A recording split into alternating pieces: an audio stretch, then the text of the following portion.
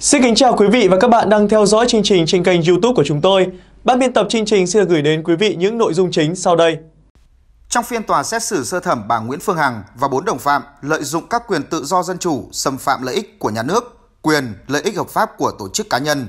Cá nhân bị bà Hằng xúc phạm là ca sĩ Đàm Vĩnh Hưng, ca sĩ Vi Oanh đều không yêu cầu bồi thường, nhưng đề nghị bà Nguyễn Phương Hằng xin lỗi tại tòa.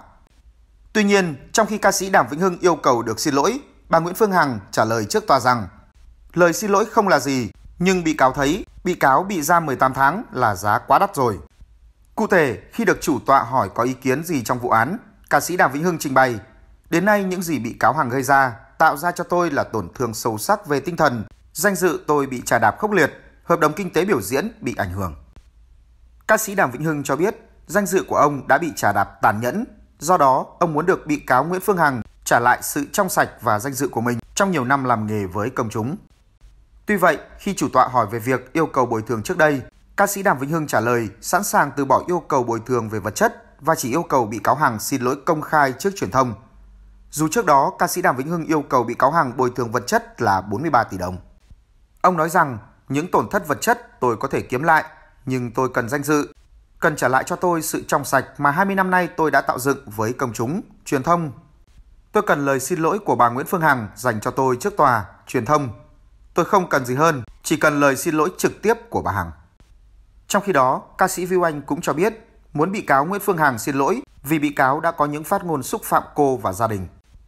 Cụ thể, ca sĩ Viu Anh nói muốn xin tòa khoan hồng, giảm án cho bị cáo Nguyễn Phương Hằng vì thời gian qua bị cáo đã có một bài học thích đáng.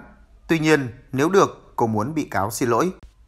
Ca sĩ Viu Anh cũng trình bày, lý do tôi có mặt trực tiếp tại đây là lo cho tương lai của các con mình sự ảnh hưởng đến tâm lý của các con. Bà Nguyễn Phương Hằng bị xét xử hôm nay là đủ cảnh tỉnh đối với bà Hằng. Ai cũng có lần sai và quan trọng là họ nhận thức được cái sai. Bà Hằng nhận thức được cái sai, tôi không ý kiến nữa. Tôi mong nhận được lời xin lỗi của bà Hằng để các con tôi thấu hiểu.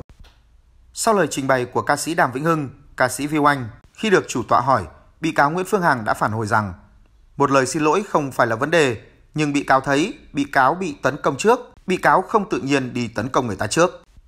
Bà cho biết, năm nay bị cáo 53 tuổi rồi, bị cáo bị xúc phạm, chẳng lẽ bị cáo phải đưa tin nhắn cho hội đồng xét xử đọc để thấy bị cáo bị tổn thương đến mức nào?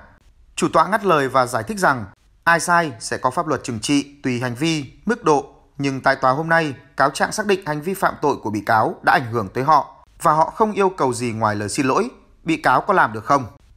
Sau đó bà Nguyễn Phương Hằng lại trình bày rằng việc bị giam 18 tháng, đó là cái giá bị cáo phải trả quá đắt. Lời xin lỗi không là gì, nhưng bị cáo thấy 18 tháng là giá quá đắt rồi. Những nội dung vừa rồi đã khép lại chương trình của chúng tôi. Cảm ơn quý vị đã quan tâm theo dõi. Xin kính chào và hẹn gặp lại.